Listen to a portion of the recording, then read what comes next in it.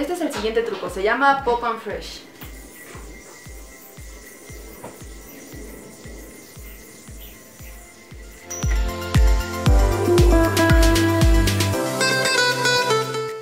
Para hacer este truco vas a lanzar el yoyo, poner tu mano izquierda aquí, hacer button mount y es como si hicieras el match 5 pero en vez de seguir con las manos vas a aplicar los saltos ok aquí vas a saltar y vas a cruzar tus manos la izquierda pasa por abajo y la derecha por arriba cuando el yoyo esté en el aire ok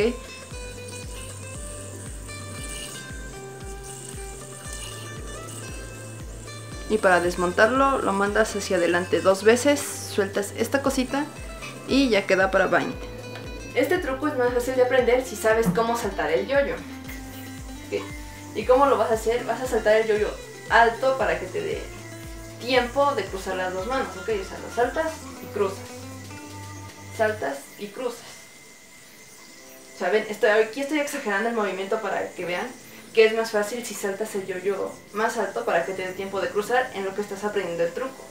Y luego puedes hacerlo más cortito para que salga así.